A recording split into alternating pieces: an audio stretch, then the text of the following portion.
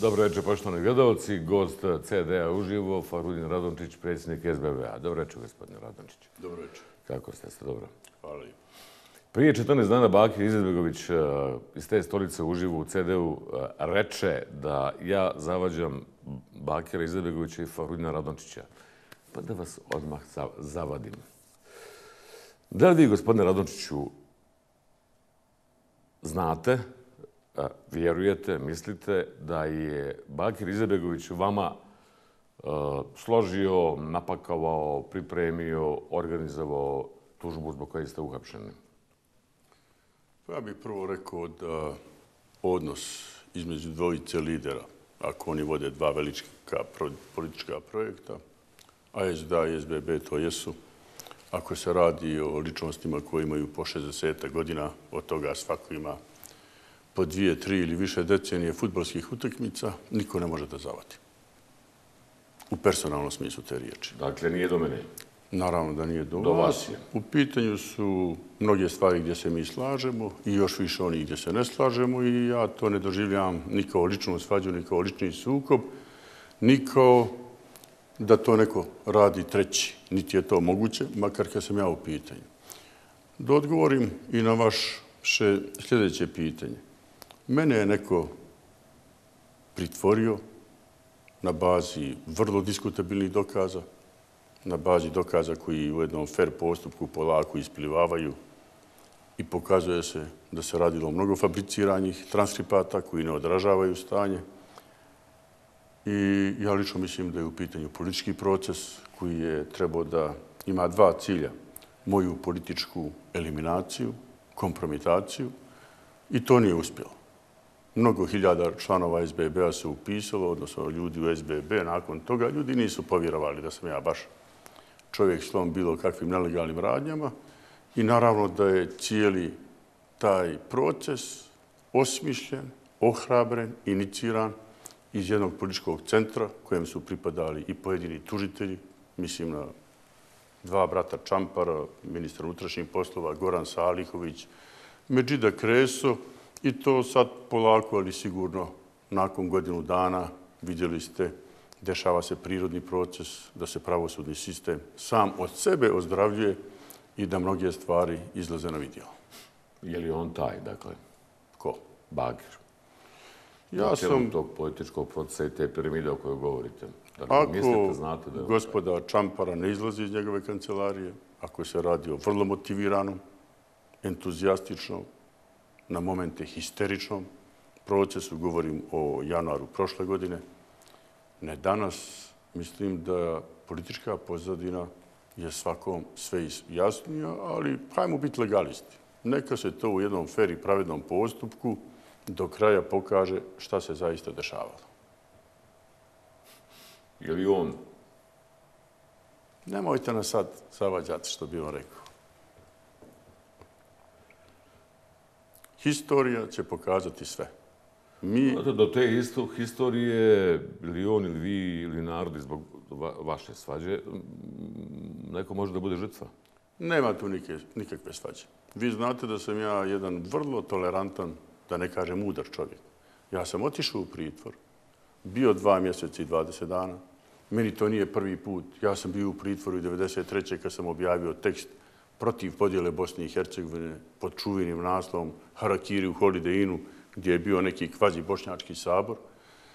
I nisam htio da raspustim koaliciju. Nakon mog izlaska iz pritvora, ja sam kao da se ništa nije desilo, napravio koaliciju za lokalne izbore sa SDA kad su načelnici u pitanju. Prema tome, zato vam kažem, pustimo vremenu, vrijeme je najbolji sudija da sve to nivelira i kaže šta je šta. E, je li on nadgledao taj sudski proces Pa morate njega pitati, mislim da je previše involviran, da on to najbolje zna. involviran Da. i u nadgledanje? Sigurno je bio mnogo, mnogo u toku.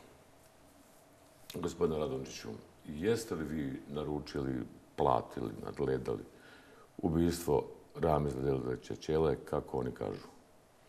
Hvala vam na novinarskoj drskosti da me tako direktno pitate, ali ja se osjećam kao da me pitate jesam li ja ubio Johna Kennedy. Gospodine Hadžifejzoviću, znamo se 30-40 godina. Ja sam bio najmlađi glavni odgovorni urednik u bivšoj Jugoslaviji. Bio sam novinar 19 godina. Cijelo vrijeme sam graditelj. Cijelo vrijeme sam investitor. Pisao knjige. Vrlo obrazovan čovjek i vi znate da sa tom strukturom ličnosti ne ide agresija i ubijstvo. Da budem još precizniji, ja sam bio u kabinetu načelnika štaba gospodina Halilovića i sa gospodinom Delorićem imao zaista prijateljski odnos. Niti jednog motiva ja nemam u životu da budem protiv gospodina Delorića. Naprotiv. Ti ljudi koji montiraju taj proces, a ovo što smo malo prije govorili je pokušaj da se ojača moja diskreditacija, jer oni znaju da tu nema ništa, je da sam ja to navodno radio što sam bio ljubomoran na njega, moram se do neba izvinjavati članove moje porodice. Jer on kao nešto navodno imao prije braka sa mnom, sa mojom suprugom. To je suludo. Ili da on mene ucenjivo da sam radio za kosu. A vi znate da sam ja prošao sve sigurnosne provjere za ministra policije koje to isključuju i da sam dobio šest ili sedam presuda. Kako je ubijen gospodin Delović? Mi svi znamo da je on nosio pancir i dva pištolja. Ubijen je u trenici. Neko ga je pozvao telefonom i rekao izađe da ti nešto dam. I upucaj. Znate li ko je? Pa ja mislim da će vrijeme pokazati zašto je ubijen gospodin Delorić. On je prvo osumnjičan, nejavno, da je minirao Mezar Ahmetli Ali Izetbegovića. A ključna stvar, ja molim VD glavnu tužiteljicu Gordanu Tadić da pogleda njegovu izjavu mjesec dana prije smrti koju je dao u vezi ubijstva gospodina Ugljena. Ko je planirao to ubijstvo, ko je znao i ko je govorio da je Ugljen munafik. I da pročita intervju koju je on dao dva ili tri dana ili nekoliko dana prije smrti, gdje je rekao od koga se boji da će biti ubijen, ko je znao za Ugljenovo ubijstvo i odakle mu prijeti opasnost. To što je jedan tužilac taj predmet uzao sebi pod mišku kao kantonalni tužilac i namjerno ili s razlozima, neću da gata, okrenuo da je ubica neki bitići jer su tamo nađeni tragovi DNK. Nakon od toga to odnio na državno tužilaštvo. Pa sad okreće da je to neki rašeta i veže ga bočno do mene. Za mene je potpuno providna stvar da se sakriju prave ubice gospodina Delavića. Ako vi niste, šta vi mislite, ko je naručio, kome je bilo u interesu, ko je platio? Ja znam sigurno ko nije, da ja s time veze nemam, a mislim da bi neovisna istraga, koju treba da vode neovisni tužitelji, a ne stranački tužitelji, a ne porodični tužitelji, vrlo lako došla do toga ko je ubio gospodina Delolića i na kraju imate prisluškivane razgovore u ćeliji gospodina, mislim da se zove Džidić Džindić, gdje se e, Lakić, neki Turkovićev kolega, hvalio da su Delilića ubili oni gospodin Zija Turković.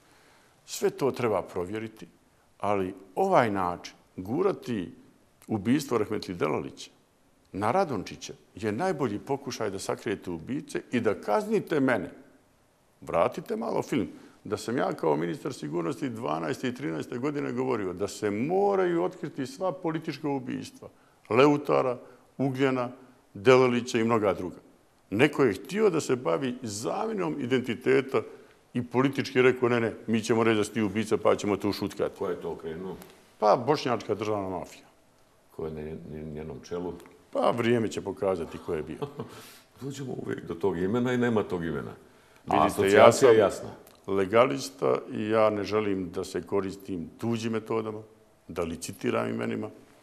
Na kraju sada znamo, ponovo se istražuju ubijstvo Ugljena, ponovo se istražuju ubijstvo Leutara i mislim da u tom kontekstu, ako to budu vodili zaista neovisni inspektori SIPE i tužitelj koji nadgleda taj proces, da će se paralelno moći riješiti i ovaj zločin prema gospodinu Neću da govorimo o zapisnicama koji su čitani prekričeni na ročištu.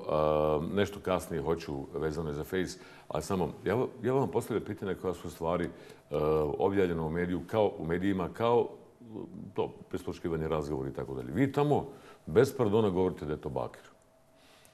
Da Bakir stoji iza, sve što vas ja pitam. iza procesa vezano za navodni pritisak na svjedoke. Da vam vrlo jednostavno brzo objasnim u dvije rečenice.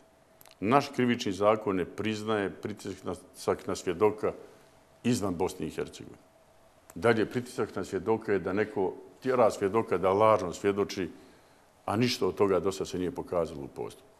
Prema tome, neko je mislio da ću, sam ja čovjek kratkog fitilja, da ću ja kad dođem, odem u pritvor, odmah raskinuti koaliciju. Da će se time raspati SBB, da ću se ja pokazati kao čovjek koji ucijenjuje pravnu državu i pravni sistem koaliranjem ako se ne oslobodim, a ja sam kao legalista rekao, ma šta me brige, odmarat ću dva, dva i pol mjeseca, nek uđe sve u sudnicu, u sudnici će se vidjeti ko je šta radi. Tužilac Dubravko Čampara, na, mi smo ga mi intervjuisali, oni koji smo postavljali pitanja, e, kaže da je i drugi proces e, u toku istraga protiv vas, a to je taj za ubistvo Ramiza Delića Čele. Znači, on je direktan, konkretan i on vama sugeriš, ne znam kako vi to e, doživljavate, da je taj proces u toku. Gospodin Čampara je da ja ne govorim o njemu. Da se već... plašite novog hapšenja po drugoj optužnici? Ne. Da li vas to čini nervozno? Gospodin Čampara je već jednom kažnjen. Isklopio je nagodbu sa uredom disciplinskog tužitelja zato što je mene nazivao pogrdnim imenima u slučaju Adresarić. Gospodin Čampara je brat Aljoše Čampara, on je opet brat od tetke Denisa Zvizdića i vi tu imate politički vrlo motiviranog tužitelja da me eliminiše iz neke trke za koju se vjerojatno Denis Zvizdić sprema. To je Trka za predsjedništvo Bosne Člana predsjedništva. I ja mislim da po kodeksu našeg tužilaštva svaki tužilac koji ima političke konekcije familijarnog tipa mora da se, ili trebalo bi da se, samo izuzme iz procesa gdje onaj kojeg on navodno procesuira ili sumljiči, to može vezati za političku pozadinu. Ja ne želim u tome da govorim. Naši advokati su podnijeli prijavu zato što je gospodin Čampara komentarisao te stvari. Mogu citirati samo gospodina Tegeltiju, predsjednika Visokog sudskog tužilačkog vijeća, koji je s razlogom rekao da tužitelj sve što ima sa bilo kojom strankom u postupku, osumnjičenim, optuženim svjedokom, to treba da radi u sudnici i u ovom smislu ja ne želim da komentarišem gospodina Čamparu na bilo koji negativan način. Samo jedno, jedno malo pojašnjenje. Nama nije bilo jasno e, preključeno ročištima. E, pominje se e, da mislim da ste se sa Uručevićem čuli i negdje 5. januara prošle godine najavljujete da ćete doći na Face, dakle ne piše u ovoj emisiju, ali u ovoj emisiju, i da ćete to nešto reći, da će biti intervju uživo i tako dalje. Gdje je zabuna neko, neko to dobro nije uradio? Vi ste bili kod nas gostali u decembru, krajem godine. Ja sad da ne mogu govoriti o tim detaljima. Mislim da su naši advokati dali jednu vrstu pravnog prigovora da je prisluškivanje bilo nezakonito. Suće se kada procijeni potrebnim izjasniti da li je to bilo ili nije bilo tako. Ja znam da sam bio u vašoj emisiji, zaista ne znam. I da ste brzo, ubrzo nakon nje uhapšeni. Pa gledajte, jedan dan je bio vrlo zanimljiv skup šestorki ili sedmorki u predsjedništvu. Ja, to je na državnom nivou. Na državnom nivou. Imali ste vrlo zanimljivu situaciju. Pored mene sjedi gospodin Čović bio u pritvor. Preko puta sjedi gospodin Šarović devet mjeseci u pritvor. Gospodin Dragan Čavić također imao probleme. Ivonić bio osuđen na 13 mjeseci, pa pravosnažno oslobođen. I tako još jedu dva čovjeka. I mislim, ko hoće u Bosni i Hercegovini da se bavi politikom, u jedno ovako turbulentno i pravno nesređenoj zemlji, mora računati s time da možete biti procesuirani, da možete nevini odležati u pritvoru i to je dio rizika koji smo mi svjesno preuzeli. Tu smo se šarili... Zamišljam tu sliku šestorki kako je nabrajate. Čini mi se da po tom nabrajanju samo Izebegović pravednik i nije bio osuđenik. Ja ne želim da licitiram, ne želim da pretpostavljam, ne želim da najavljujem. Mislim da nije u redu neću o svom slučaju da govorim. Uzmite primjer gospodina Šarovića. Devet mjeseci je bio u pritvoru u Doboj i oslobođen je pravosnažno i dobio je nadoknadu. Tako su i bili osuđeni na ovaj način. Čović je također oslobođen. Ali... Čavić je imao problema. Ivanić je oslobođen. Mislim da... Jedini, on, jedini bakir čist. Pa ja navijam da to tako i ostane. A hoćete li ga tužiti? Naš pravni tim je nakon što je Evropska komisija za nagledanje ljudskih prava na Kosovu, to je kao naš še visoko sudsko tužilačko vijeće, samo sa većim kredibilitetom, jer tamo sjede strane sudije i tužioci, donijeli odluku na bazi žalbe John Jonesa, mog advokata iz Engleske, da su prekršena moja prava, da se nije smjelo spominjati optužnici moje ime i prezime, moja supruga i tako. To su poslije Čampare i SDA i neki mediji e, relativizirali, kao nije to baš neki pravi Pa vidite, sudnice, sudnica medijske polemike su medijske polemike. Ali ćete ga tužiti? I mi smo onda rekli da će naši pravni timovi odlučiti koga će tužiti. Oni su podnijeli disciplinsku prijavu protiv gospodina Čampare, a ja sam Bakiru to i uspjeno rekao baš na tom sastanku. Bakire, ne možete kod gospodina Hadži Fejzovića govoriti Radončić ima proces na Kosovu koji ga optereće. Mene taj proces ne optereće. Je, to je ovdje rekao. Ja Ali sam... je ponavljao to.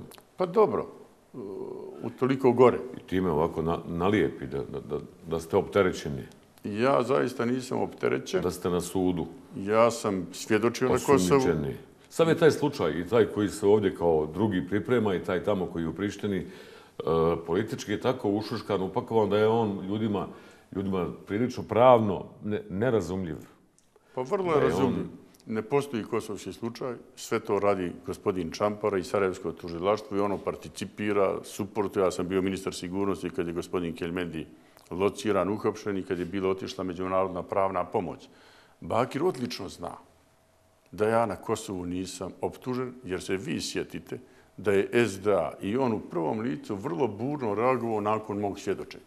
I onda on rekao da je Radončiljevo svjedočenje bilo takvo i takvo. Znači, on zna taj pravni status, ali se on upravo uporno pravi da ga ne primjećuje i time zaista otkriva jednu svoju političku involviranost da proba da se napravi jedna klupko, Kosovo, Sarajevo, Sarajevo, Kosovo.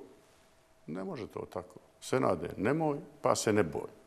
Ne možete vi, običnom čovjeku, a kamoli Radomčić, tek tako prišiti tuđe ubijstvo.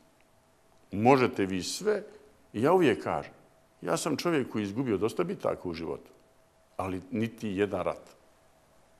Ovdje je pojenta da mi večeras pola sata pričamo o Fahri kao potencijalnom kriminalcu, a ne onima koji su vršili politička ubistva, koji su ubili ugljena koji imao fizičku zaštitu, kako je ta zaštita nestala, on ubijen, o Leutaru koji imao fizičku zaštitu. Znači, nešto razgovor o ovoj temi da ste odgovorili odmah ko? Uh, ko je Čelu, ko je da se bavimo, ko je, ko je, dozvolite, samo da zašim, da se bavimo imaginarnim naručiteljem ubistva, to sam ja, a ne realnim ubicama vrlo visokih policijskih zvaničnika i mnogi drugi. I u tom smislu mene niko neće začepiti usta, niti će mi nabiti kompleks. Meni je žao da sva ta energija, sva ta podlost, sva ta lukavost pre... ide ispod pojasa. Mi sada pričamo o ovome, a ne o tome kako ići ka evropskim integracijama, kako praviti državu, kako praviti ozbiljnije stvari. Zašto je njima tako lako da javno kažu Fahro je, a vama nije lako da kažete ko su oni? Pa zato što želim da ne ličim na svoje rivali ili neprijatelje. Ja sam njima trn u oku. Oni se boje moćnih, utjecajnih, pametnih, realiziranih ljudi. I tu je početak i kraj priče. Ko ga tužiti? Ako počne da...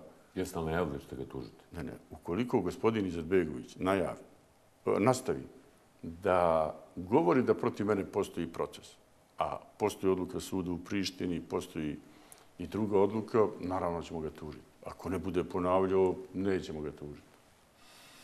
Taj napad... Ne, ništa mu mi ne uslovljavamo ga, on će izabrati šta će raditi.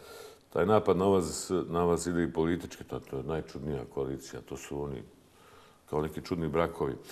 Izabegović daje, prvo nije davao mjesecima nikom intervjuje, samo ponekom i tako dalje, odobranim medijima, a sada je krenuo ono, ono, udavanje. Um, I tu u svakom tom intervju pominje vas u jednom mediju, e, juče kaže, Uh, Radončić mene izgleda još uvijek doživljava kao rivala. On rivale napada u svom poznatom stilu. Rivali mu nisu ni Srbi ni Hrvati, već su uvijek bili i uvijek će biti Bošnjaci. Kada vas vas prepozna krenu napade, možete to smatrati političkom inicijacijom, ušli ste u krug bošnjačkih političara teške kategorije i tako dalje. Međutim, ima medija koji se bave također ovom temom, a to je da Radončić ne napada e, uh, Srbije i Hrvate, već napada samo Bošnjake, samo Bakira. I onda to ide u asocijaciju da ste dobri sa Čovićem i Dodikom, a niste sa Bakirom. Pa meni su kao ministra sigurnosti smijenili gospodin Dodik, Lagumđija i Izetbegović. Eto koliko sam ja dobar sa Dodikom. Svako ko čita naslove... To može da se protumači kao Dodik koji je bilo ono... Pa ne znam ja. Ja glasao, ja ne glasao. Kad je Dodik bio u krizi sa financijama, Bakir mu je pomogao nekim angažmanima, aranžmanima sa MMF-om. Šta znači to? Ja mislim Vi da... sa Dodikom i Bakir sa Dodikom. Da, ja mislim da se radi o jednom vrlo ružnom spinu, jednoj vrsti vrlo ružne političke podlosti. Ja mislim da je neko na ovom sastanku šestorke rekao gospodinu Izetbegoviću, Bakire, koristiš jako teške riječi o nama, a to jesu teške riječi, jer ja sa, zaista ne želim da uđem u tu matricu. Teških riječi. Zašto ne odgovorite? Pazite, pazite, pa sami kažete Ajmo. da je teška riječ, dakle i optužba. Znači, dobili ste, to vrlo jasno, dobili ste sa Srbima i sa Hrvatima. Pa dakle, njihov ste. Znate gdje to vodi? Imate na svaku tezu kontratezu. Šta je? Nikada Rahmetli Alija Izetbegović ne bi dozvolio da mu preko puta stola sjede zajedno hrvatski i srpski faktor protiv bošnjačkog. Ovim načinom ne smijete kontaktirati sa Srbima ili Hrvatima. Ne smijete imati normalnu komunikaciju. Šta mi hoćemo? Muslimansku državicu.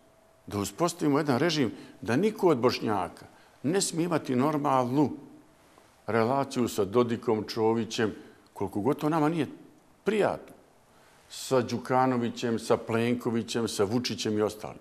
Neću ja nikada pristati da nemam komunikaciju koliko god se ne slagao s tim ljudima.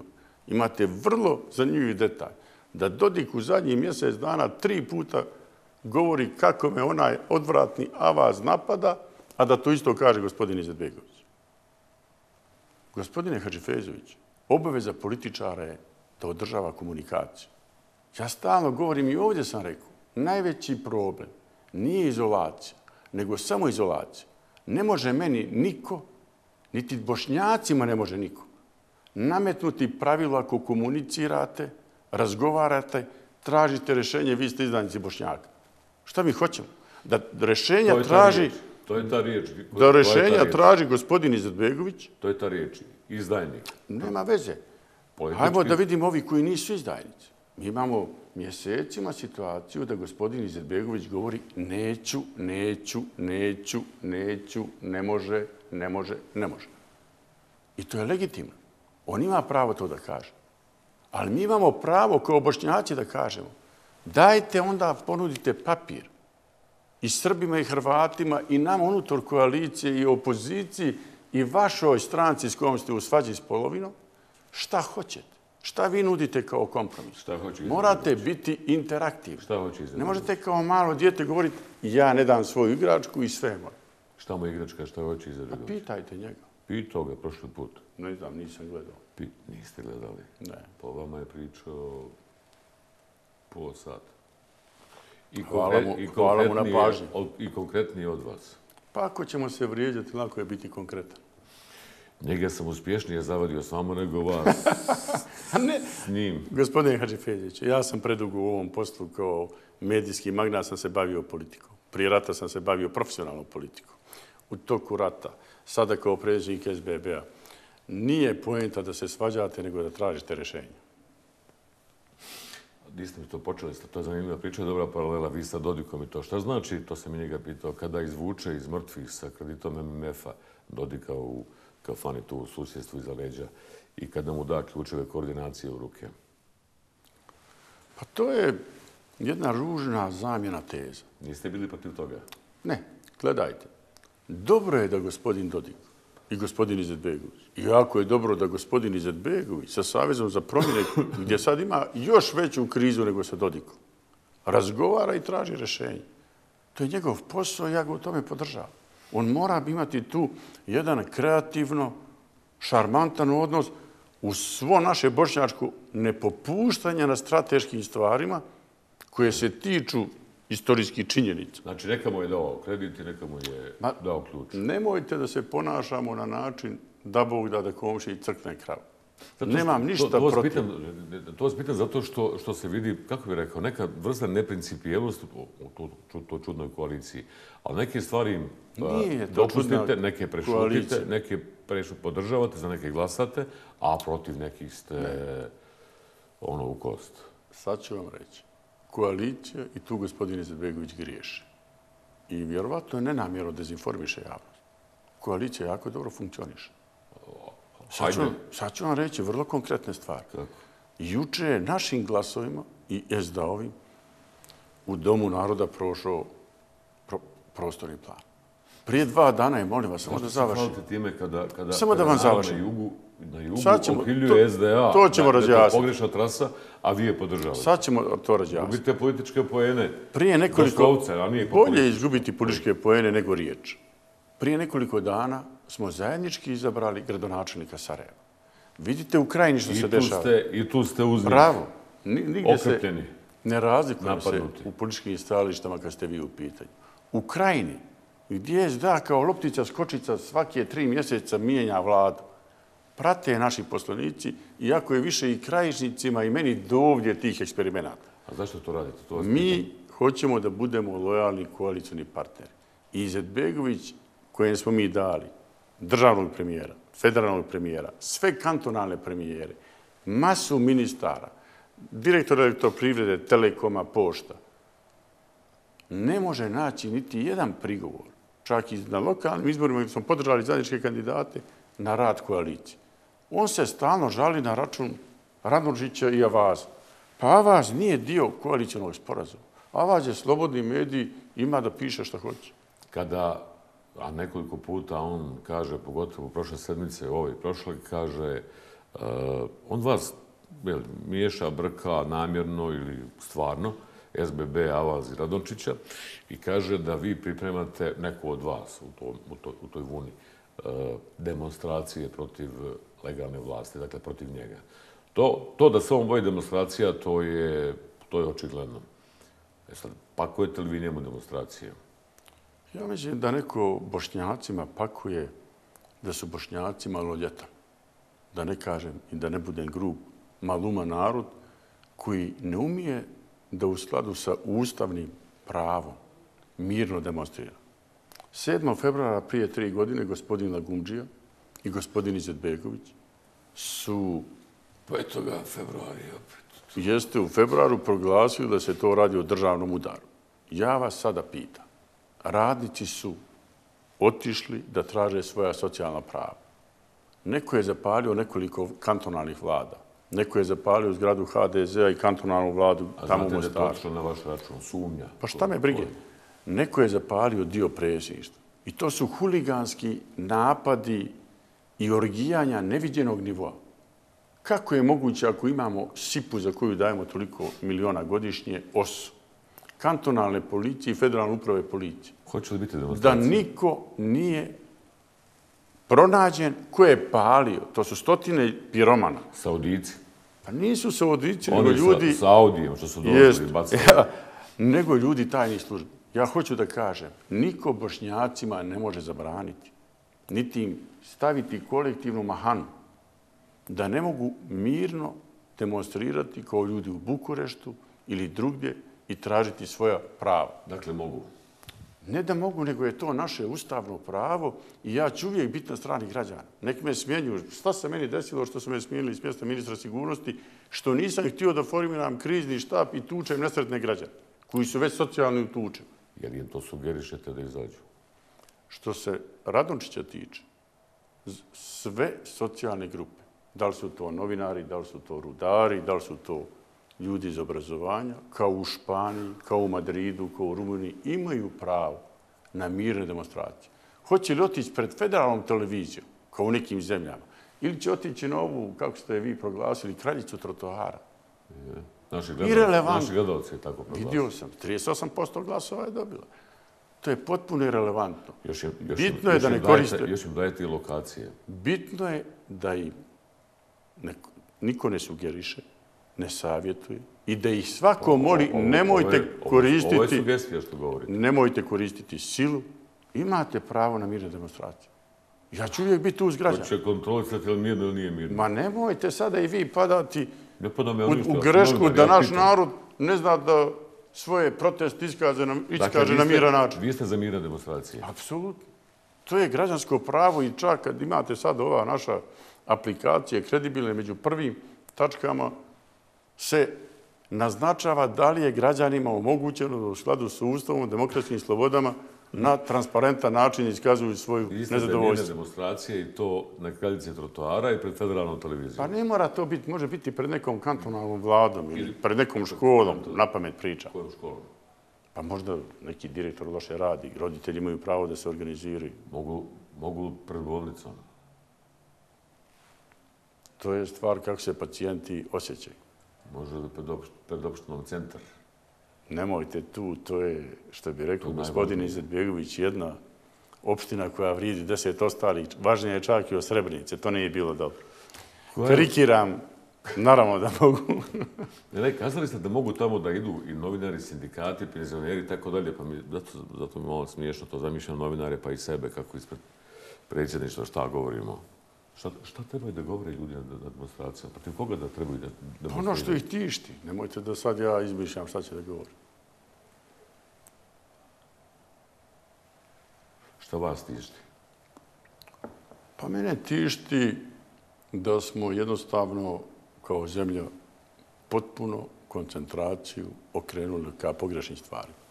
Ja se vraćam, gospodine Hadžifeđeviću, na ono zbog čega smo mi podržali vlast SDA, HDZ i zbog čega smo ušli u vlast. Razvoj, infrastrukturni radovi, euroatlantske integracije, masovno zapošljavanje, društvo jednake šanse, borba protiv državne mafije, borba protiv pet familija koje žele da vlad, Koji feudalno je to vladaju. tih pet familije više? Hadži Bajrić je pitao na nekoj televiziji koji je, kaže pet je on. Koji je i on kaže jedno. Koju je rekao? E sad, ne znam da li vi tu pominjete u, u tih pet. Koji je vaših pet? Pa ću se ja sjetiti koji je vam. Pa vidite, imate, hoćete da krenemo od glave. Porodicu Izetbegović. Pet, a druga? Mogu li ja postaviti, ili treba li ja da postavim svoju suprugu neke genije? Prvo za direktora jedne bolnice, pa za direktora još većeg kliničkog centra. Ili svoje sestriće Sadoviće za neki ambasadori da je to normalno. I da ne govorim bočne veze. Imate neke Bukviće. Pa imate porodicu Čampara ili iz viziji zovite koji sami imaju više pozicija nego cijeli SBB, DF i SDP zajedno. I tako dalje. Zvizdić, Sadović, Bukvić, Šampara, Izetbegović. Je to? Ima plus minus. Te demonstracije. Dakle, sada ste vi potvrdili ono što oni govore, tu sumnju da vi ložite, nagovarate, sugerišete i to. Vi sada kažete da zamira demonstracije. Gospodine Hadžifeđević, nama svaki sedmi stanovnik na spavanje ide gladan. Neko je slagao građane da će zaposliti 100.000 ljudi. Najveći poslodavac je jedna ambasada u Sarajevu koja je izdala 15.000 radnih dozvola u nekoliko mjeseci našim građanima koji napuštaju Bosnu i Hercegovinu. Ljudi žive siromašno. Nema masovnog zapošljavanja. Jer neko očekuje od Fahre Radončića da će ja držati jedan poklopac i govoriti mir, sve je odlično. Ne učestvujem u takvim lažima, ja sam to sto puta rekao. Ako neko misli da ja pozivam na demonstraciju, time što kažem građani imaju pravo i ja ne želim da bošnjaci budu jedini narod u Evropi gdje se unaprijed sumnja da oni to znaju da urade na miran način. Pa eto, kriv sam. Jesu me tri godine optuživali da vršim državni udar. Šta se pokazalo? Ništa. Jesu me optuživali kad su borci prije pet Vama godina... je državni udar uspio. Prije Ušli pet... ste u državnu vlast. Pa, to je e, zanimljivo, ali, ali znate da nije tako. Kad su borci prije nekoliko godina pred federalnom vladom štrajkovali, jesu rekli Radončić provi državni udar. Nigdje je Radončić. E, da, to je Narod je pitanje. Vi ste u državnoj koaliciji, vi ste u federalnoj koaliciji. Kada bi došli demonstranti mirni, ko bi njih mogao da usmjerava da je to protiv Bakira i da ih usmjerava da to nije protiv Fahre? Ma ja To je opasno bi... i po vas. Pa šta je opasno po meni? Pa to da mogu doći i vama pod prozore. Znaju odlično građani u zadnjih 25 godina kojim je šta dužan. Ja u tom smislu zaista briga nema. Dobro. U tom medijskom ratu, dakle, to je i preko medija, znači i politika i mediji, to je malo koordinirane akcije gdje vi naravno odgovarate i tako dalje. Ima tu recimo nekoliko, nekoliko zanimljivih detalja. Dakle, te sugestije da ste dobri sa Srbima, sa Hrvatima, pa da ste dobri sa Crnogorcima. Najnovije, vrlo svježe informacije danas juče, danas fotografija vas i e, do skorašnjeg e, premijera i predsjednika Crne Gore Mile Đukanovića u nekom hotelu. Gdje je ono? Gdje ste bili ono? Ja vam mogu potpuno demistificirati stvari. Gospodin Đukanović je političar. A znate da je to sugestija, vidite kako je on tamo nešto, on to, je sa Srbijom, sa Hrvatskom, sa Srbima, sa Hrvatima u Bosni. Kojeg je Stotelberg na Skupštini NATO pozvao, prozvao ocem crnogorske državnosti. Gospodin Đukanović je uspio da malu Crnu Goru izvuče iz velikosrpskog zagrljaja i proglasi je i uspostavi je moćnom, suverenom državom. Na putu euroatlantskih integracija i NATO Crna Gora je lider. Gospodin Đukanović je jedan vrlo iskusan političar i moj prijatelj i moram reći veliki prijatelj Bosne i Hercegovine, gdje bi svaki političar, a i svi su bili sa Đukanovićem, i gospodin Izetbegović, i gospodin Ivanić, i gospodin Čović, trebalo da razgovara. Da, ali, ali oni, oni, to, to je sugestija u paketu. Gos, vidite, dobar gospodin... Dobar s Dodikom, dobar sa Čovićem, dobar sa Pa to je moja prednost. Sa... Šta treba? Da sam dobar ali, sa dva, tri... Ali znate šta, šta time poručuju u vašim glasačima, građanima, bošnjacima? Pa ja mislim da time mogu nesvjesno poručiti da bošnjaci trebaju imati lidere koji ravnopravno, suvereno, sa svim razlikama komuniciraju sa regionom na način da na najbolji način promovišu interese Bosne i Hercegovine. A to što vam otkrivaju da ste na konsultacijama sa Keljmendijevim advokatom redovno u Podgorici, čini mi se. To otkrivuju oni koji imaju svoje političke leševe.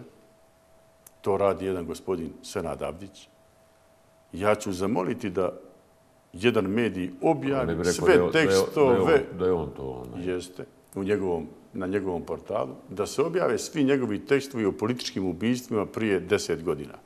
Vidjet ćete šta je taj čovjek pisao, koji je ubio Ćelu, koji je ubio Ugljena, koji je bio Leutar. Sve tekstovi protiv njegovih sadašnjih političkih nalogodavaca. A vidite od toga advokata u Podgorici? Ma nemajte, to je smiješno, gospodine Hadži Fejzić. Za Đukanović imaju fotografiju, kažete, ok, to, šta je tu problem? Ja vam kažem potpuno... A da onako fotografija je špijunska, ono, malo... Pa nema veze, mogli su nas transparentno slikati. Gospodin Đukanović je predsjednik vladajuće stranke. Koliko se često sa Đukanovićem? Sad ćete se vi iznenaditi. S obzirom da sam ja bio u pritvoru, s obzirom da cijelo ljeto nisam mogao, sam bio u Hrvatskoj, to je moj njegov prvi susret nakon godinu, skoro i po dana. Nema nikakvih mistifikacija u mom životu. Nedavno je to bilo? To je bilo u prošli petak prije sedam dana, jer i mene je zanimalo kako idu stvari u crnogorskom prijemu u NATO paktu. A jako tamo zanimalo, zanimalo vas se ko je slikao? Znate li ko je slikao? Ne opterećujem se time, kogod hoće.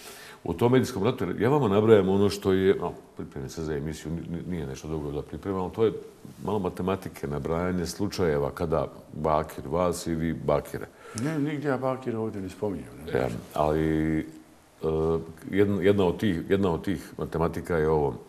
Uh, broji vam se koliko ste ljudi iza vaza, uposlednika vaza je to imena, kod ljudi koji su glavni urednici, direktori, menadžeri, važni novinari, pa do, danas do vašeg ličnog tilohranitelja, koliko ste ljudi e, zaposlili u državnim institucijama. I oni, oni sada prate, oni, kogoda su, dakle, SDA, e, prati, e, mada ima i medije, koliko ste ljudi vi tušnuli u državne institucije. To se tačno zna. Svaki dan je taj spisak sa imenima i to. Oni, to je sugestija je da dvije su, da je to, šta je, ako može se nazove nepotizmom, ne znam, E, da zapošljavate su zaslužne ljude, ali da u avazu nešto sa plaćama sa biznisom nije u redu, pa... Ja ću vam reći bez ikakvih e, mistifikacija. To su sve javni podaci. Avaz je prošle godine poslovao sa 5,7 e, miliona dobiti. Znači, Avaz nema nikakvih finansijskih problema. Avaz je za 27-8 godina jedna od najuspješnijih kompanija gdje se radi po 15-16 sati dnevno. Svaki čovjek iz Avaza, ako ode u državnu službu, vjerujte, bit će primjer. Išlo je dosta ljudi i ranije na neke određene pozicije koje su uzimale stranke kada SBB nije postao. Vi znate, evo, na jučerašnjem federalnom parlamentu za direktora agencije za bankarstvo, bankarstvo izabran je gospodin Jasmin Mahmuzić, strateška državna institucija kojeg ja praktično ne znam. Znate da je gospodin Juzko dobio mjesto državnog ministra. Znate da je gospodin Ermin Džindić, kojeg ja praktično nisam znao, dobio mjesto ključnog ministra energetike. Da, oni pišu o ljudima koje znate, s kojima ste vi radili i vrlo su vam Ako se neko zaposli kao vozač i ako ga neko iz SBB-a uzme kao vozač... Osobno tjelohranitelja znate. Nema veze. Ja znam da je u pitanju zamjena teze. Evo, ja vam pokazujem šemu vašim kamerama porodice Čampar. Znate li vi koliko je tu generalni sekretara, ministar unutrašnjih poslova? Niko ne kaže da je brat Dubravka Čampare postao zamjenik ministra. Drugi predsjednik vijeća ministara. Vi imate hiljade slučajeva da su... Brato tetke. Brato tetke i tako da su ljudi zapoženi, vi to ne možete iščitati, za direktore ogromnih kompanija i sad oni spočitavaju što je nekoliko ljudi zapošljeno potpuno legalno na konkursu. Ja vam potpuno iskreno kažem. Evo ja vam nudim milion maraka. Ni manje, ni više. Kome? Ko mi nađe da sam zaposlio člana svoje porodice i bližeg i daljeg, od komunalnog preduzeća do općinskog, do kantonalnog, do federalnog državnog. Hajde još jedno. To je nepotizam. Hajde još jedno. Kad zapošljavate svoje rođake, svoje zemljake. Znam to, ali šta, šta ste kada milijon maraka nudite? Ono... Ko mi nađe da se bavi nepotizmom? Nepotizam je zapošljavanje rođaka. Da ste upotrijebili tu riječ. Znam ja. Ne, Mislim, možda znam, čito, gledalci ne znaju. Znam ja. Znači, znam, kod, sam, u SBB-u... sve riječi, ali zapošljavate najbliže ljude, najbliže pa prije, urednike, direktore vaza, telohranitelje, novinare. To pišu pamfleti. PR. I to piše čovjek, opet ću mu reći ime, Senad Avdić, čija je supruga postala ambasador zahvaljujući takvom pisu. Pa morate odgovarati na direktne prozivke koje su pune laže. Šta, nudite milijon maraka onome ko utvrdi da ste zaposlili nekoga... Člana svoje porodice. To je nepotizam. Do koje koljena? Ma do koje god hoće. Evo, potpuno transparentna ponuda. Milijon. Milijon. Bez ono, ono, sestre, sa zadovoljstvom. Ono vaše sestre, onaj, Šta? Ma nema takvih. da, ali šta je razlika ako zaposlite od sestre dijete ili zaposlite najbližeg saradnika? Ogromna je razlika se na. Pa ne mogu da govorim, nije fair. Tjerate me da kažem. Mene neko proziva što se neki vozač iza vaza zaposlio za vozača negdje tamo u nekoj instituciji. A ne prozivate gospodina Šefika Džaferovića, čiji sin radi kao kantonalni tužilac. I takvih imate primjera, neću da spominjem ljude, još stotinja. I radi se o tome da SDA 25 godina funkcioniše po tom osnovu i odjednom je preko nekog mini portala, jedne koruptivno-mafijaške novinice, odnosno portalčića, SBB postao problem. Pa, pa imali ste prekjuče. To je i politička igra, gdje, pa sad, gdje vam okay, kažu, ali svugdje mora gdje imati... kažu isti si. Nisam ja isti, Eto, ne da je smo mi... Je li Milan Trivić prekjuče izabran za zamjenika gradonačelnika Sarajeva. Naš kolega novinar, koji je bio direktor rad 1, nikad nije bio u SBB-u. Ja ću vam nabrojati 100 ili 50 takvih primjera da smo na ključnim mjestima imenovali ljudi koji uopšte nisu članovi SBB-a. Mi se zaista zalažemo za društvo jednake šanse. Vraćamo se na Bakir. Niste na Kubakirovu. Revizija. Što znate mi o reviziji? Revizija presude, to je gospodin Kačić juče objasnio kao pravnik da se ne treba zvati revizija tužbe, već revizija presude pred Međunarodnim sudom pravde u Hagu. I stavi kao političar znate? Ima li neko taj čvrsti dokaz? Da li znate da to postoji? Zašto je ovolika drama tek u cajtnotu? Zašto se to prije nije radilo i prikupljalo? Jeste li razgovarali sa Izetbegovićem o ovome? Jako komplicirana priča. E, mi moramo javnosti građanima reći činjenice. Nažalost, Izetbegović i ja na ozbiljan način o tome uopšte nismo razgovarali kao SBB, SDA ili... Niste razgovarali? Ne. Jedini, Uopšte ovih dana niste razgovarali? Jedini razgovor je bio u prisustvu predstavnika srpskog i hrvatskog naroda. Suština je sljedeća. O tome ste razgovarali sa Srbima 27. februara 2007. godine. Mi smo, zahvaljujući advokatima, od kojih se jedan zove Alain Pelle, francuz, i Von van den Bizen, holandžani, preko našeg agenta Safeta Softića. ovo pitanje, pa ste to Nisam, ne, ne, nego smo se danas time bavili, i to je lako zapamtiti, dobili presudu gdje prvi put jedna država, sedme godine, Srbija je proglašena odgovornom za kršenje konvencije o genocidu. Još važniju stvar, mi smo tom presudom Međunarodnog suda pravde, koja je najveća svetska instanca, dobili da je konstatovan genocid i da su ga počinili ne Radvan Koradžić kao persona, nego vojske i policije Republike Srpske. Institucije RS-a.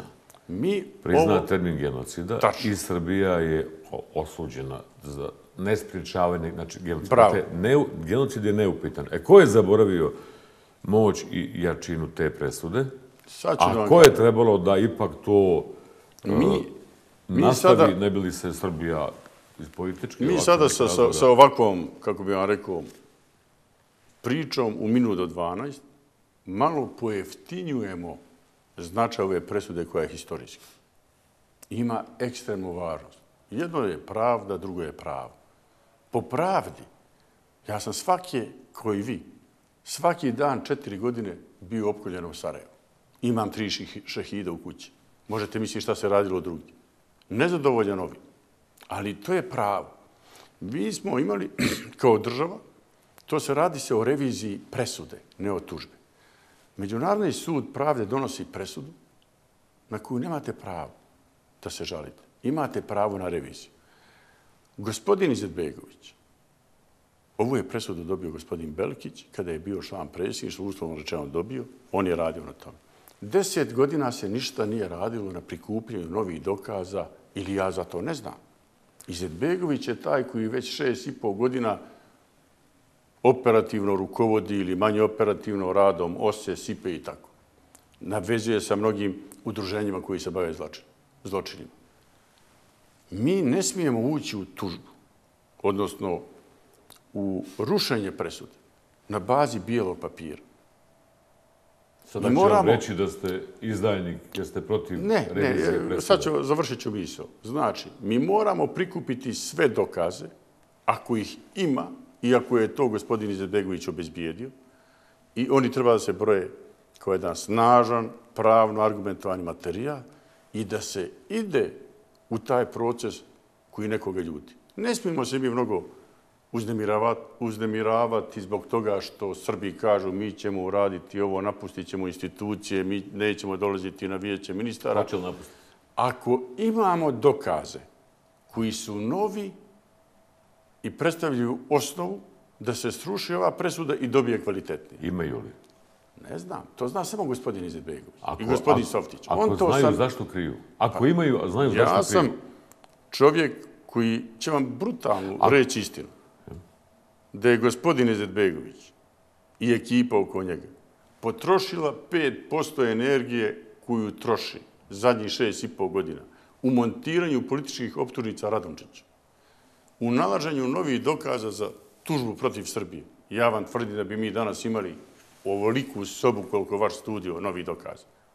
Ne znam šta imaju, nisu našli za shodno da se konsultuju s nama. Vi znate u SBB-u postoji jedan svetski relevantni pravnik, relevantan pravnik, gospodin Damir Arnaut, koji učestvovao u Ganićevoj odbori, koji je dobio presudu u, u Strasburu, da ga niko ništa nije pitao doktorirao međunarodna prava na, na Berkeley.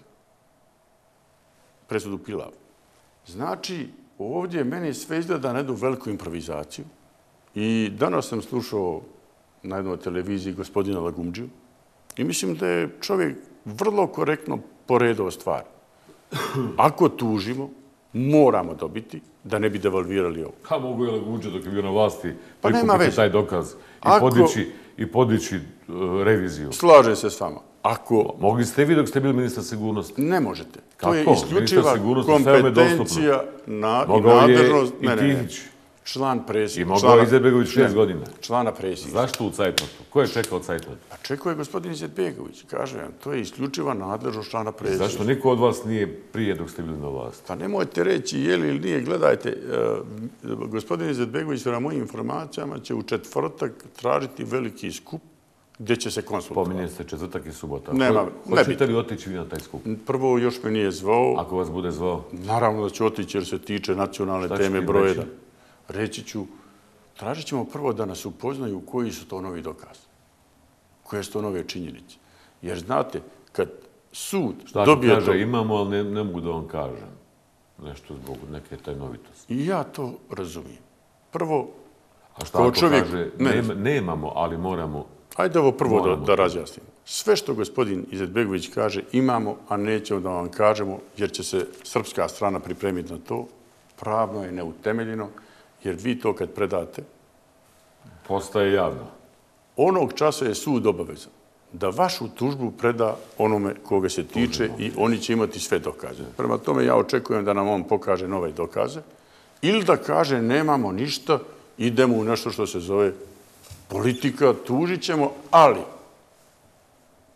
onaj ko podnese tužbu, a nema procjenu, ozbiljnu državničku procjenu, pustite se dnevne politike, da će ta tužba biti dobijena, snosi odgovornost ako bude izgubljena. Šta Jer mi gubimo kredibilitet teme i samo da vam završim time, dosta su bile tri zahtjeva za reviziju Nijedan nije uspio. i nijedan nije uspio. Daj Bože da naš uspije i ja jako, jako bih bio sretan kao bošnjak, kao čovjek koji zna što je rat, koji je to osjetio u svojoj porodici, na svojoj koži, četiri izgubljena godine života, mnogo naših ubijenih ljudi, da mi uspijemo u tom.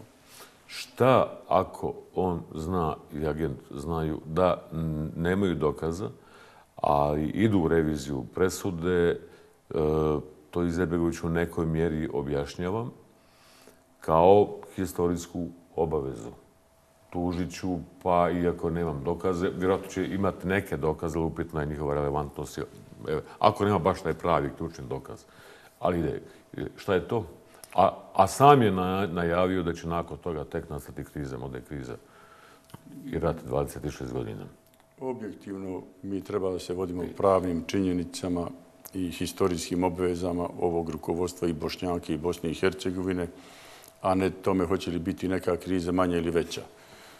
Ja sam to već negdje izjavio, gospodin Izetbegović, kao legitimni pobjednik u Bošnjaka, ima tu odgovornost i jednu vrstu, ako hoćete, tegobe, da donese takvu odluku. I ja sam rekao, kakvu god odluku da donese, mi ćemo ga podržati u tome. Ne plašite se toga da on to traži. Dakle, on traži sad da vi kažete da je on odgovoran, ali on traži da bi donio tu odluku uh, jedinstvo bošnjačkih, bosanskih, probosanskih i građanskih uh, opcija i lidera. I malo šire intelektualne društvo, poznatih ljudi. Ne mislite li da time se, ili to politička opasnost, pa mada je to malo, malo beze pitanje, ali ono, malo Dodikova forma ugrožena je Republika, RS je ugrožen, hajmo ovamo. Ovo je ugrožena Bosna i Hercegovina, hajmo ovamo i on se nameće tu kao lider. Ili preko vas pravi alibi, eto, pa zajedno smo tužili. Vidite, problem kod tog Izetbegovićeg zahtjeva je što u, u manifestacionalnom smislu traže da ga mi podržimo. Ja? I to nije sporno. Dobro. Problem je što ga mi tom podrškom aboliramo od njegovog nerada u zadnjih šest godina da se nije bavio tim strateškim Dobro. bošnjačkom, Našao bosansko-hercegovačkim vas je na pitanjem. zajedničkom problemu i doći ćete mu. To je moja obaveza. Dobro. Prije ste me prozivali da razgovaram sa Srbima, Hrvatima, zašto ne bi razgovarao sa Dodikom? Sve je okej, nek ja sam samo... Sa gospodinom Izetbegovićem. pita- Sa zadovoljstvom. Puši neka zabavljena puta, to nešto pita. Dva stranca su mi vrlo bitna ovdje. U, tu završavamo. Jeffrey Nice i Jonathan Moore. Moore je e, šef OST, Amerikanac, diplomata, par. I on ne krije u svojoj izjavi. Kaže ovako, šta zna. Iz obaveštajnih izvora znaju, e, imamo informacije, dakle, šta će biti dakle, takva tajna informacija nego da, od, od kugle i od taneta iz cije. Dakle, da, ne, da bosanska strana nema nema argument, nema dokaz, nema činjenicu i kaže nemojte. Američka ambasada danas kaže pa pustite na pitanje e, agencije Srna, kaže pustite pa neka svak traži pravdu i tako dalje. To je pitanje za Mura i zajedno u paraleli Jeffrey Nice je bio tu prije nekih 15, dvije ili tri sedmice. I on, da li on ima neke dokaze? Da li je moguće da postoji na tom tržištu i trgovina? Informacijama, dokazima, papirima, Neko je činjenicama i to dokumentima. napisao i vrlo je argumentovano. Između u ovih deset godina, u tom intervalu, dogodilo se da je Perišić, načelnik generala štaba JNA, oslobođen. Da je Jovica Stanišić, šef tajne službe, oslobođen. Radovan Karadžić nije osuđen za genocid, iako je taj genocid bio.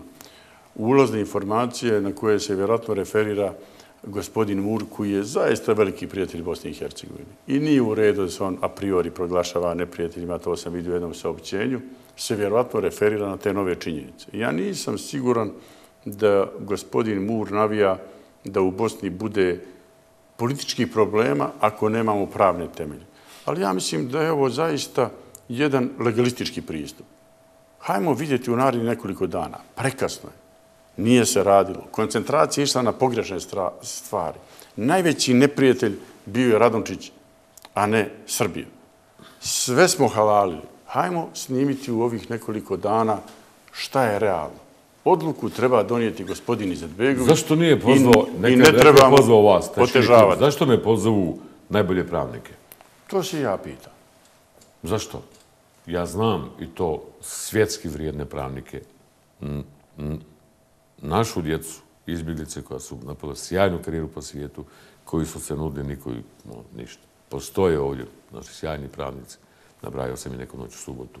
Zašto to nije ta reprezentacija, već je sva karta na jednog igrača Imate, koji nema tima? imate dva posla. Jedno su pravnici, Jer je to Jeffrey Nice. a drugo je materijal, nove dokaze koje ćete mi dati.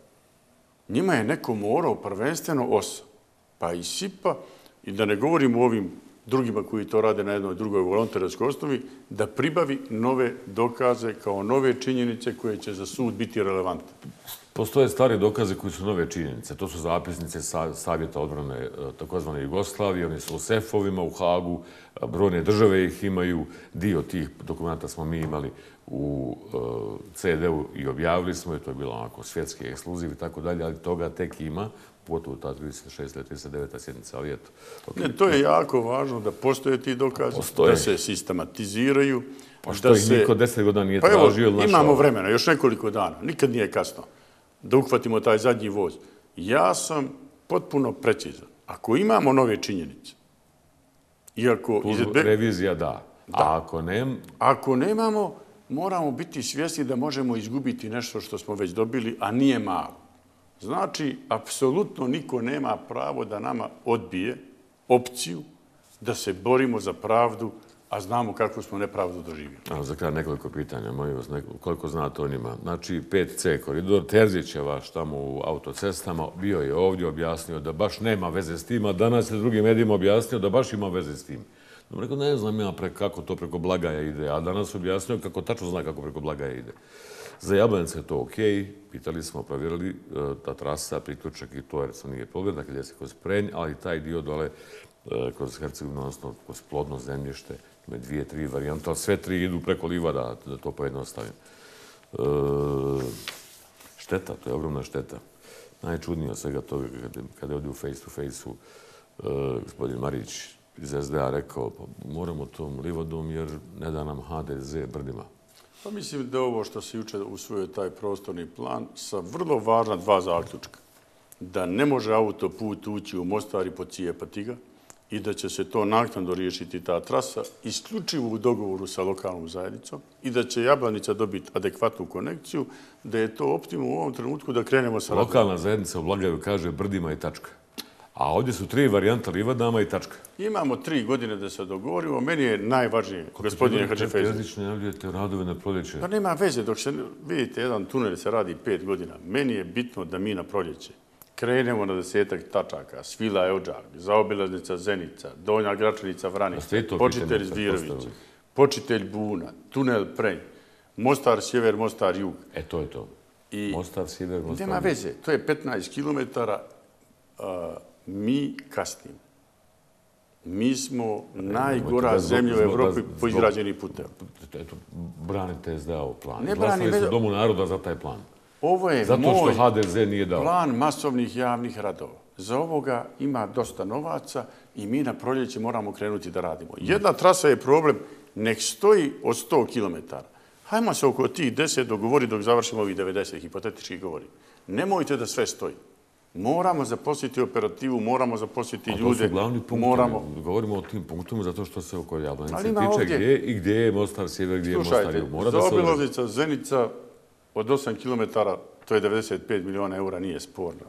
Svila Uđak nije sporan. Gračanica, Pa ja- Vranica pa ja nije sporna. šta, samo šta je sporno. Sporno je da smo morali za jednu dionicu još riješiti e, akcize. Ove stvari, recimo, mogu glatko da idu i tu ja ne vidim nikakav problem, pogotovo što za neke dionice će vlada federacija dati pare. Sve je to nesporno, samo je sporno kuda ide. Zašto ne brdima? Pa nonika brda a Gledajte. pre- pre- preko, preko Hajmo vinograda. prepustiti trasu ekspertima. Ja vam kao odgovoran čovjek kažem, Eksperti su dali trasu preko brda. Malo skuplja, gospodine ali, Hadžifezović, ali malo skuplja. Ali ekološki, ja napravim toranj od 40 spratova. dugoročno. I znate šta ja kažem? Napravite mi ovakav toranj sa blagom torzijom. I sve projektuju najbolji stručnjaci. Jer vi mislite da ću se na tom putu ponašati kao stranka drugačije? Pa neću ni po koju cijenu dozvoliti da autoput prođe pogrešnom stranom ili uđe u Mostar i razbije jedan od najljepših gradova Evrope. Pa nemojte imati Ti iluzije. su Ja nisam... stručnjaci kazali brdima. Pa šta me brige za I stručnjaka? narod kaže brdima, a politika kaže livadama, vinogradima. put mora da ide ko svi autoputevi. Brdima, jer je najjeftiniji, najmanje je tunela, a konekcija adekvatnog tipa može da se uradi. Eto, onoliki brda naši su da ga spuste u, u Ma vinograde. spustit ćemo ga mi njima, tako što to nećemo prihvatiti, nego ćemo vratiti dionice tamo gdje prirodno pripadaju. Kome, Bakiru. A nemojte vi na Bakira, Bakir je moj koalicijani partner, što ste navarili na Bakira? Se volite vi. Pa gledajte, s moje strane zaista nema nikakvog antagonizma. Bilo oni halala Mi- u CD-u. Pa Poslušajte. Opet, opet ste se... Gospodin Izetbegović, ja kad razgovaram u četiri oka, Kako to, na šta to liči? vrlo su to civilizovani i uljudni razgovor. Ja vas duboko uvjerovam Pa da tu meni, nema... to je meni licemjerno. Nije Ovamo licemjerno. se šopate preko medija i na preskonferencijama Mi- ovog... Jo, Pa nisam radi? ja- Jo, jesmo, jesmo se... Ništa jesmo ja nisam rekao na presu protiv Izetbegovića na li- ličnom nivou. Vrlo su uljudni, korektni razgovori. To je dio našeg posla. Pitajte li ga, bogati bakire, pa što mi pakuješ ovo? I pitali on vas, bogati faro, kako, kako, imate, Vi ga tu možete pitati, on će neke, reći... imate neke nadimke između, on ga će, pitate vi, ne, genije, on mene genije. zove Fahro ili Fahrudin, ja njega zovem Bakire i to su vrlo a- oficijelni A razgovori. Ništa kirba, genije. Ne, Ne, ne, nemate tu ta, ne, to je vrlo, tijelo. vrlo korektno, vrlo vaspitano i vrlo ljudno razgovaramo. A ne pitate ga šta Bez je ovo? intimizacije. Šta je ovo, ove čampare, zvizdići, ovo, to. Ne Pa dobro, to su pitanja ali, ja, ali javno o tome govorite. Obojica. treba Obojica. javno otvarati ne zbog Bakir, Bakira. baki, bakir, naki. Ne, ne, ne treba to otvarati zbog našeg personalnog odnosa, nego zbog statusa, stanja našeg pravosuđa i pravne države.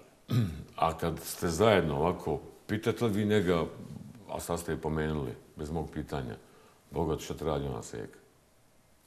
Pa ne bavim se suprugama svojih koalicijnih partnera.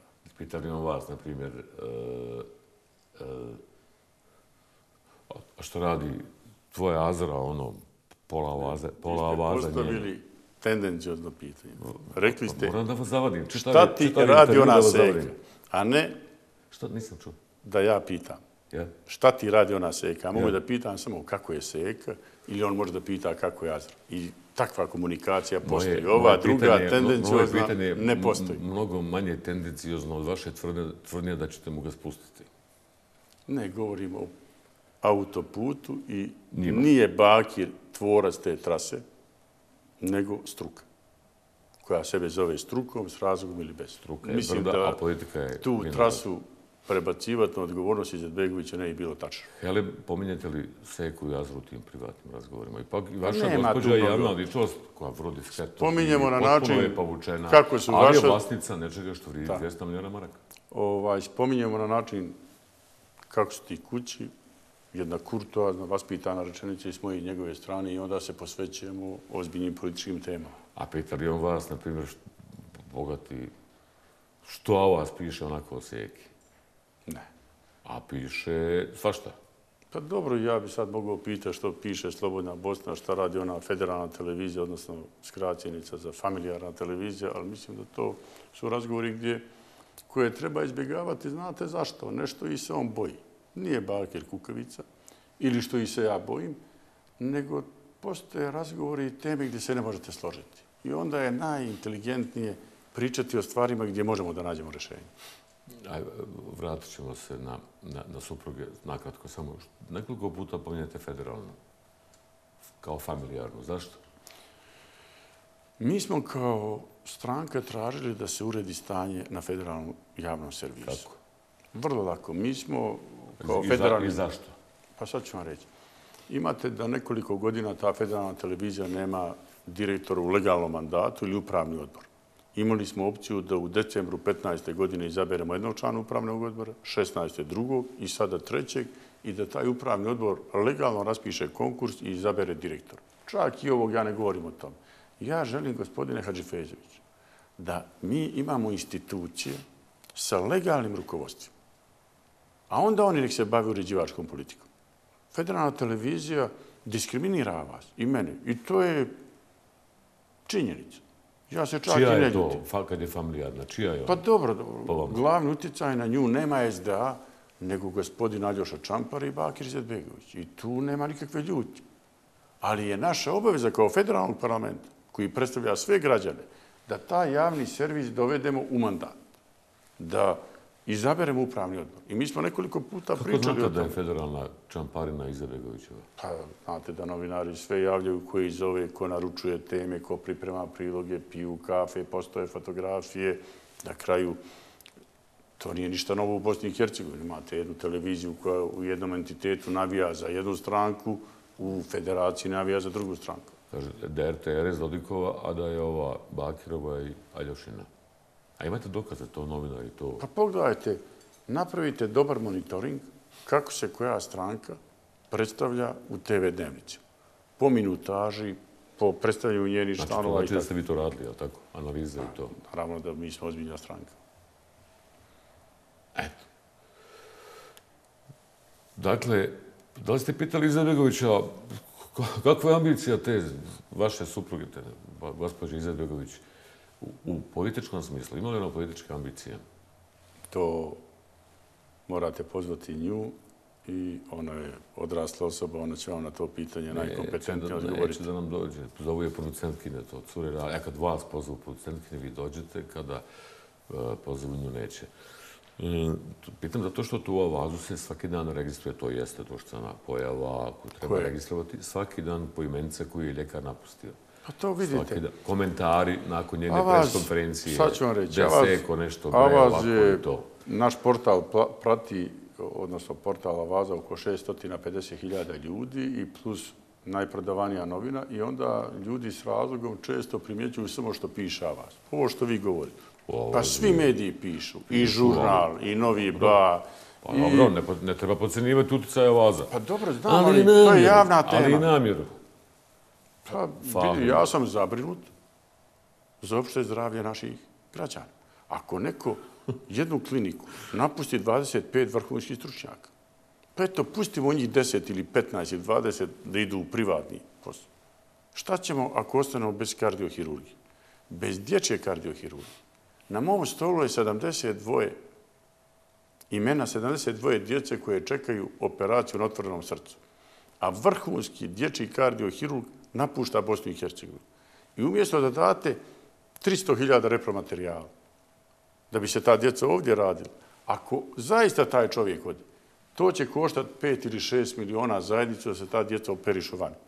U tom smislu stanje kliničkog centra ne može biti privilegija ili odgovornost ne jedne osobe, nego jedne stranke. Što I znači javnost da ćete i dalje mediji- pratiti rad i poslovanje. I mediji imaju pravo da se bave i postavljaju pitanje. Gdje, gdje se vi pre- pregledavate, liječite? U državnoj bolnici. Ovaj, vo- vojna, bivša. Da. A gore... Ode mi gore, nije a gore ni lud... Ja ne, šta, naravno da odem gore. Oni su svi položili Hipokratovu zaklet. Ja, ali Ali zdrav sam da kucnem u drvo. Do sad nisam išao ni tamo, ni tamo. nije bilo problema. Nije bilo. Jednom, zna, zna Radonić šta ga pitam, ali vrlo vješto večerac izbjegava odgovore. Um, dakle, Sad me optužujete da sam... kada je bilo uoči izbora u Americi, Trump će pobijediti ili Hillary Clinton. Napravili ste neku odjevu koju sam malo manje više u odjevu ovdje improvizirao. Bilo je ovako. Ako Trump pobijedi, da li to znači da će njegov ekvivalent nešto sličan ovdje e, biti predsjednik e, Bosne i Hercegovine, medijski magnat koji pravi tornjeve, a to radi Trump radi u Americi, i rekao Radončić. Ili ako Hillary pobjedi, da li je logično da, nakon- oba je logično, da li je logično da ako Hillary supruga bivšeg predsjednika Amerike pobjedi, da li je logično da onda ovdje pobjedi doktorica Sebije Izetbegović, supruga ovdješnjeg predsjednika. I pobjedi Trump. Da li to znači da će Radončić biti kandidat na izborima za predsjedništvo do godine? Ja ću vam reći jednu činjenicu, ne da se hvalim s njome, Ili će objaviti ranije? ali je tako da sam dobio dvadesetak večera jer sam se od prvog dana Trumpove kandidature možda kao jedini ili vrlo rijetka ličnost u Bosni i Hercegovini takmičio da će Trump glatko pobijediti. Čak i sa prijateljima Amerikancima, jer sam znao da je u Americi koji drugdje ljudi jako poštuju vizualni rezultat, to su tornjevi, medijsko iskustvo što on ima i u tom smislu ja sam zaista bio siguran i to su čak neke novine objavile da sam jedini pogodio. Da li ću se ja kandidovati za člana predsjedništva? Vi znate, ja sam jednom rekao da neću i to me jako skupo koštalo jer sam imao ogromnu kritiku naših članova da smo na lokalnim izborima, osim što smo poklonili načelničke pozicije SDAU, dijelom napravili loši rezultat jer ljudi žele bez lažne skromnosti SBB sa Fahrudinom Radončićem na čelu. U tom smislu ja nemam pravo, nakon, a mi imamo 73.000 članova sad kad smo ponovo prerovili bazu i izvršili autorizaciju svakog člana tako što smo nazvali telefonom, odnosno naše stručne službe i rekli jeste li vi član SBB-a i šta misle o nekim političkim ocjenama, da u ovom trenutku kažem neću. Da se neću kandidovati. Sada kažete nećete. Ne, ne, u ovom trenutku ne mogu reći da neću, prije hoću nego neću.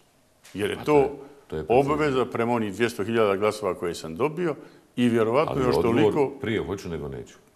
Odgovor je da je vrlo izvjesno da ću se kandidovati, da budem vrlo. Hvala. Jeste sad zadovoljni? Jesam. A što ako vas uhapse prije nego hoćete? Pa ima i gore zlo. Mogu i da vas ubiju, ko mnoge što su ubili. To nešto znate. Šta znate? Rekao sam što sam mislio. Ko bi vas mogao ubiti? Vi sigurno ne. On. Nemojte tako. Pa ko bi mogao da vas ubije? Zašto da vas ubije? Pa ne, ubiju Imam neko. Kennedy-a, ubiju, pucaju Regana. Politika je vrlo riskantna disciplina. Nešto Dalje znam. imaju nešto što se zove Božja posla, možda umremo od infarkta, drugih bolesti. Mi sada ovdje hipotetički razgovaramo i ja vam hipotetički govorim. Vi ste kazali da bi vas neko mogao ubiti. Pa takvi sigurno da ima i to sa zadovoljstvom. Imate neke prijetnje? Ne bih o tome javno govorio. Ali to, kako ste kazali, je ozbiljno zvuči. Idemo na druge teme. Za, sam nismo završili sa protukandid, protukandidatkinjom. Bili mogla biti doktorica Sabije Izetbegović, protukandidatkinja. Pa da imamo mi tu, da imamo mi tu Trump, Hillary uh, utakmicu. Svaki kandidat kojeg SDA predloži, a pri tome se ta stranka ne pocijepa ili pocijepa, za mene je legitimni rival i ja ga duboko poštujem. Dakle, moguće je. Ne znam, pitajte ljudi A iz ako bude, SDA. a ako bude, Ja mislim da će to biti jedna fair i korektna utakmica. pa sa ženom, kako sa ženskim protukandidatom, kako bi to bilo?